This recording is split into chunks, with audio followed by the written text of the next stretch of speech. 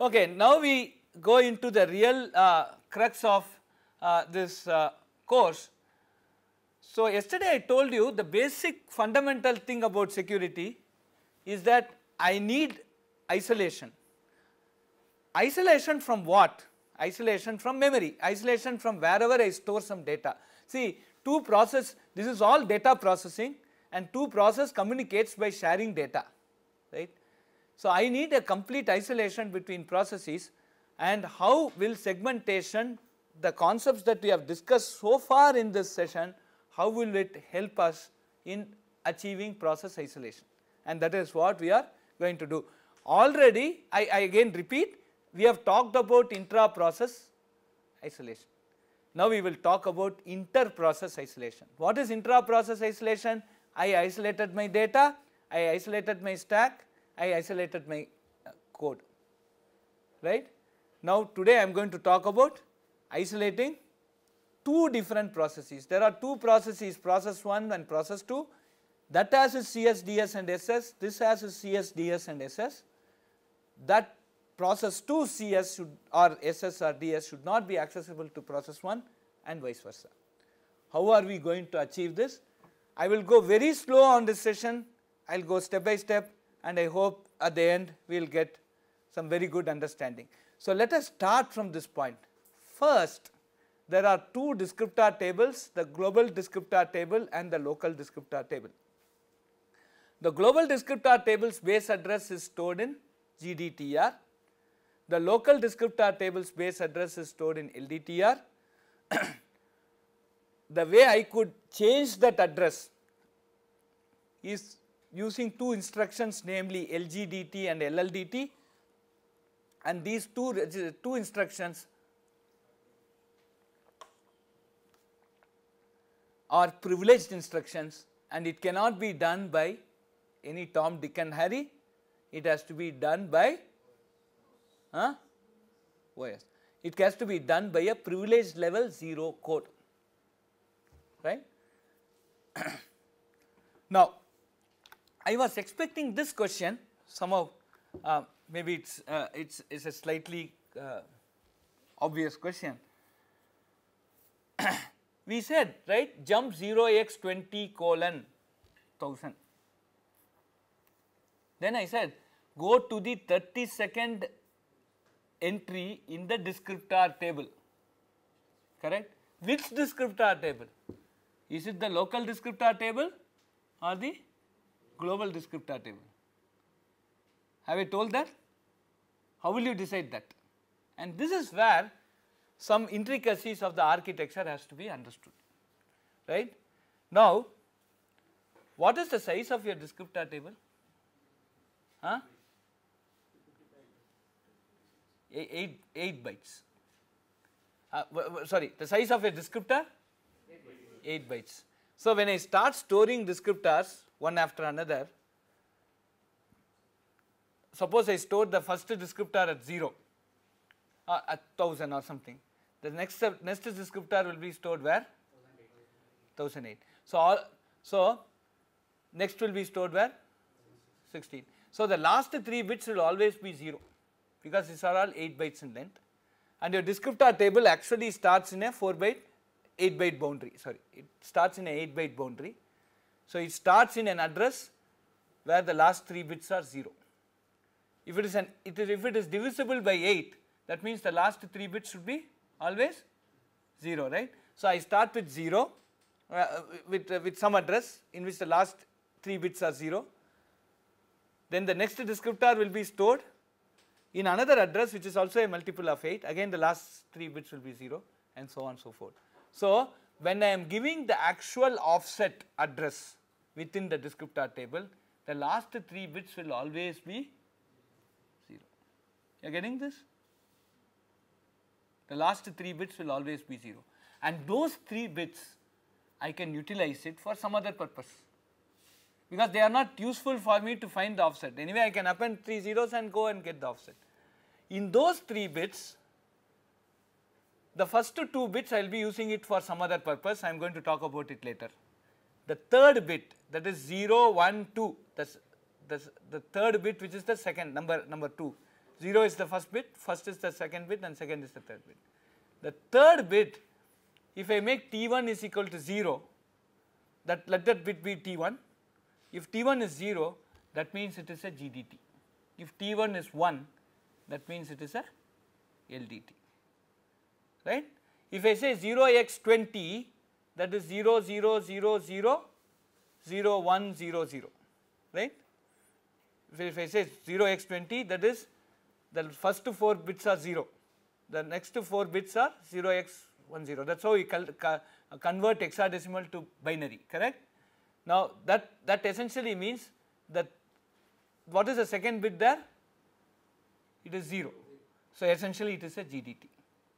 If I want to access this same 0x20 descriptor in the LS, uh, uh, uh, LDT, I should put 0010, 0100. What is 0100? 4. So, if I say 0x24, then essentially it means what? The 20th descriptor in the LDT. You are getting this. So, this is some architectural conventions that uh, this is the way architecture maintains otherwise you know you will have one more bit separate bit for LDT GDT it becomes much complex. So, these are all some of the optimizations the architecture has done. So, what will the architecture do? It will start loading your descriptor table in an address which is a multiple of 8. We will see how it is going to do. And that address will be pointed to by whom? The GDTR and every offset within that address will also be multiple of 8. If I am a multiple of 8 then the last 3 bits are zeros that last 3 bits can be used for something else and in which one of the 3 bits the most significant of those 3 bits is used to indicate whether I am trying to access that descriptor in the GDT or whether I am going to access that descriptor in the correct this is very very important okay so so since segment descriptors have are each 8 bytes the last 3 bits of the selector is always 0 in which one of them is used for indicating whether I am going to get the descriptor from the LDT or get the descriptor from the GDT. You are, you are, this is correct clear. So, we when we do the lab exercise we will you will actually do this right. So, so, we will tell you how to do this. Now, this is the slide which is the most important slide which will try and answer you many many questions okay and we will spend at least 10 minutes in this slide to understand what it means. This is the slide which is talking about inter process protection in your uh, setup. Now, let us say there are two processes each of PL equal to 3 privilege level equal to 3. That means they are executing through a code segment whose privilege level is 3. Now, each of these processes will have its own. So, when process 1 is created, like I say a dot out and press an entry, then the operating system will create a process execution environment for me and allow you to execute. So, when a process 1 is created by the operating system, it creates an LDT for it. When the process 2 is created by an operating system, it creates another LDT for it, right, right. And so, when process 1 is executing, it will load the LDTR with that LDT start address. When process 2 is executing, it will load the LDTR with the process 2's LDT address. So, essentially this LDT is per process for every pro every process and now note that I am a process now process 1 and process 2 are all level privilege level 3 code. So, they cannot go and change the value of the LDTR. Why?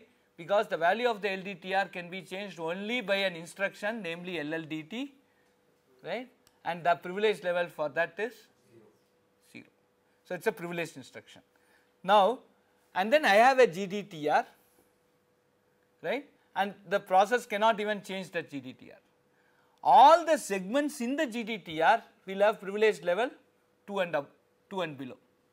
So, as a process 3 I cannot go and use anybody in the GDT because their privilege level will be what less than 3.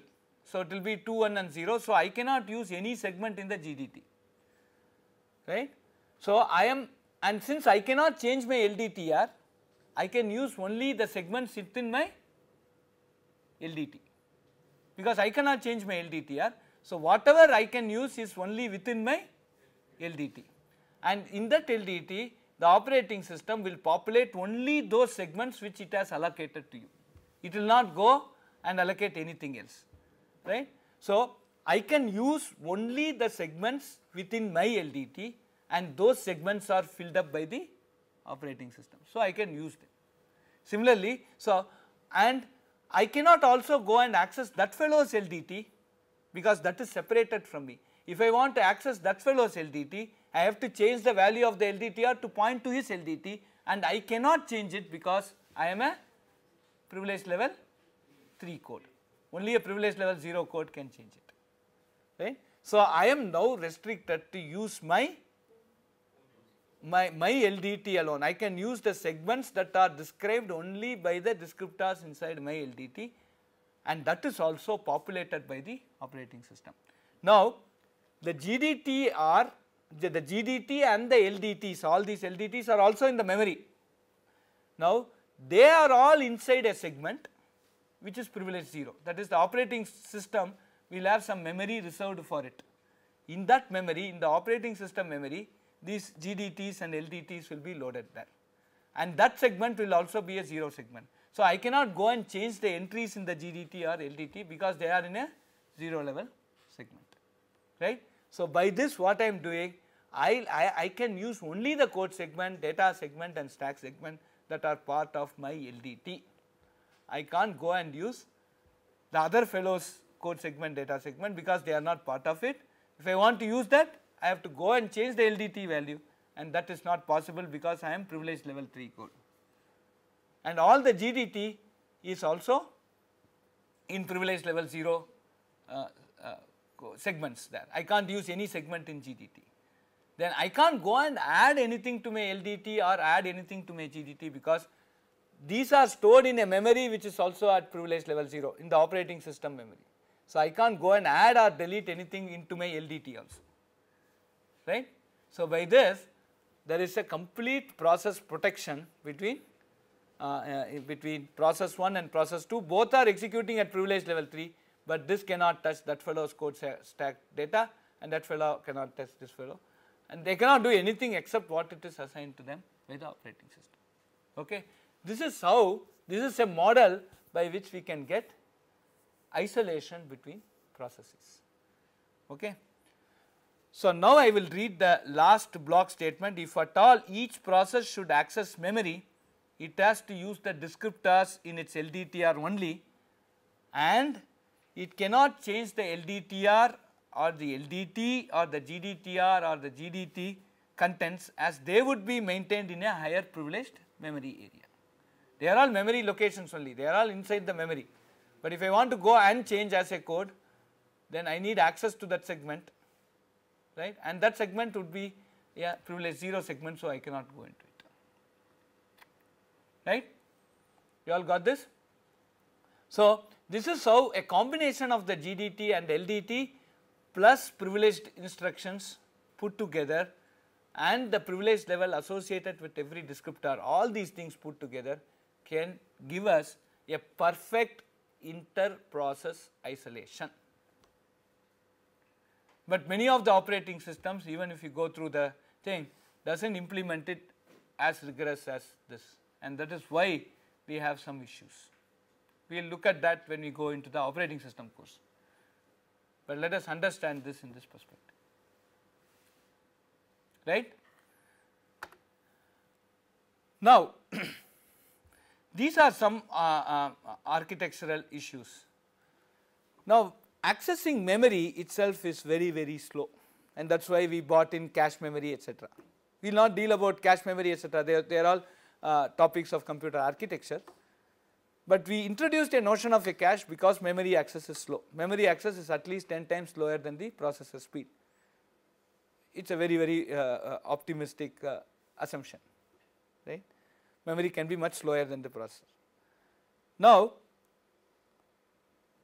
what we have done now by introducing this security issue, by introducing this, when I want to access memory, first I have to go, first I will fetch the instruction.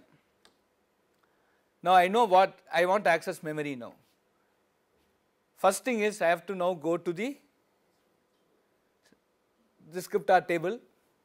From there I have to collect the base and then add it to my thing. Again now I have to go and access memory. So one memory access has now become two memory access. Do you understand this? One memory access has become two memory access. Already memory access from a performance point of view is like a monkey. Now this monkey has become drunkard, mad, it kills your performance now. It becomes slowly, it becomes extremely slow, right. So this is the cost of security. So now how do you solve this problem? right. So the problem is solved as follows. When I say CS, there is a visible part of that CS visible to whom? Visible to the programmer. And what do you see in that visible part? The offset into that table. But there is a hidden part which you call as a shadow part which is not visible to the programmer. I, visible means I cannot go and manipulate it. In that part I will store the base address, I will store the limit, I will store the DPL the privilege levels right. So, whenever I am saying move ds comma 0 x 10 the moment I say bring move, move ds comma 0 x 10 what I do there? I move the base address the limit and the privilege level of that, that 16th descriptor. Also along with that. So, when I am updating the ds visible part with the value 0x10 that is 16, the, for the corresponding descriptor whatever the base address limit and DPL I store it in the shadow or the hidden part. Got this? So, whenever I am accessing DS, what are the checks I need to do? What are the first thing I need the base address to that time if I say move d uh, move uh, eax comma ds colon 0 x 1000 or whatever. So, what I need I need the base address that base address will be available in the hidden part. So, I need not go to the memory I will get it from the hidden part. Then what I do I have to check the offset with the limit whether the offset is exceeding the limit that also I will have it in the hidden part right and then what is it that I need to do I need to I need to check the privilege level that is also the hidden part right. But the architecture has actually made it hidden so that the programmer cannot manipulate it. So, this is not manipulatable. So, still my notion of security remains same, but my performance now is addressed because this is completely a hidden part. Okay. So, for me to get the base, for me to get the limit, for checking and for me to get the privilege level for checking, I need not go to memory every time. I will look at the hidden part. Correct? You are getting this? So, by this I am addressing the performance issue. There was a performance degradation. There would be a major performance degradation if at all we did not bring this hidden part. So, what lesson do we learn? Some point of time when we develop some secure architecture for specific purposes, we may not do a general purpose security thing. One of the thing is that more and more we start putting security checks, there will be a direct correlation in terms of degradation in performance and at every point of time we need to come out with such type of innovative solutions that will address this performance. And in the act of innovating a solution, we should also see to it that the security is not again compromised. In this case, yes the security is not compromised to a large extent because we know the base address limit and uh, DPL is is we know that it is stored in a shadow part which is not accessible to the programmer. It is isolated from the programmer. Okay. Now, this is where you should be extremely careful. Now, let us say uh,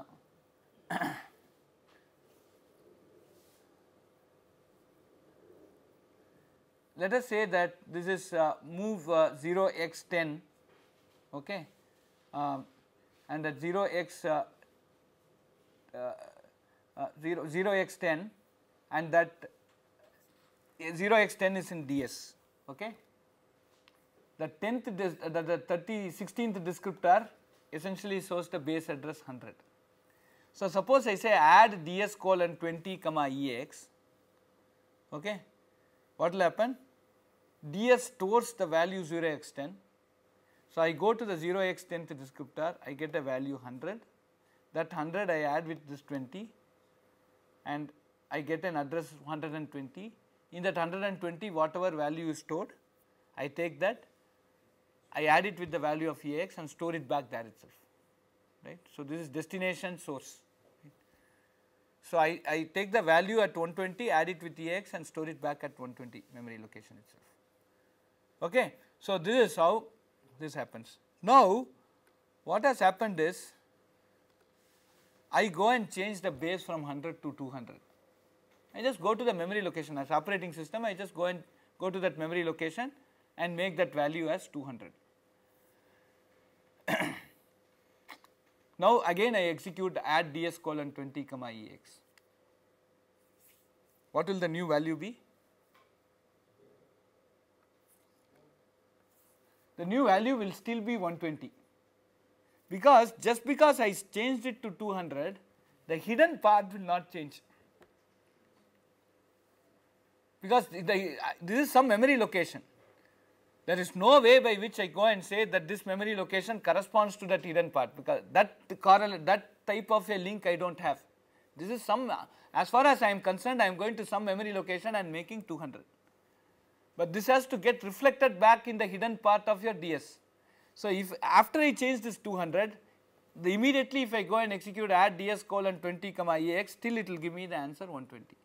So, whenever I go and change the base immediately I have to execute again move ds comma 0 x 10 again move this that time what will happen 0 x 10 will be there but then the new base and uh, limit and address will go and get updated into the hidden part and then now you again do add ds colon 20 comma ex then it will give you 220 right. So, these are some things that uh, happens right when you start. Uh, so, what why I am giving you this case study is because some point of time you start uh, porting a separating kernel, separation kernel onto your x86 or ARM platform, then there are a lot of issues that will come and many of the things you may have to do it in assembly and when you start doing this these are some of the issues that will come very very important there right. So, what did we do? We wanted to introduce security because of introducing security there was a performance degradation to, to remove that performance degradation what did we do? we added a shadow register and because of adding that shadow register we landed up with some other problem and that is what we are solving right. So, please note that every problem has a solution which leads to another problem which again has a solution which leads to another somewhere it stops. In this case fortunately stopped here. Right? Right. So, there is some see what I am trying to uh, tell here is uh, to express uh, this feeling here. That whenever we try to solve a problem where we miss is that we do not go to the grassroot right. So, so this is one example where we have gone fully to the end and saw that everything is fixed right and uh, this is also a case study where I, oh there is a problem, okay let us have this fixed and what is the implication of that fix? It is very pretty obvious here, right, but it is an enemy of correctness, right. So, you, you lose that correctness if you think it is obvious. So, this is how we proceed, okay. So, please have these case studies in mind because when you, when you, when you build a security architecture in whatever form, uh, this, these type of small, small things actually makes a big difference uh, because ultimately if I give uh, yesterday as I told you right I have a very very good security in my financial institution but I say every one week you change your password then no fellow will come to your institution. They will close your bank account and go to some other bank. Followed, right? So you should get a get a security solution that is also user friendly. It's not a so no restrict. Suppose I say no, if I want to enter this hall, I will have put some five fingerprint and each combinations of fingers. You say I don't want to attend this course and go. Okay, right? So it's very very important that uh, you get some practical solutions. And here just introducing that privilege level, what has happened? We landed up in a mess with respect to performance. And then we say I am going to market this processor without this type of fix, then your code will be very very slow. Right? Nobody will buy it. Okay. Fine, if I lose data it is fine, I can't undergo this torture. Okay. So then so, so you have to come out with fix and that fix will have some other issues. This is one example of that.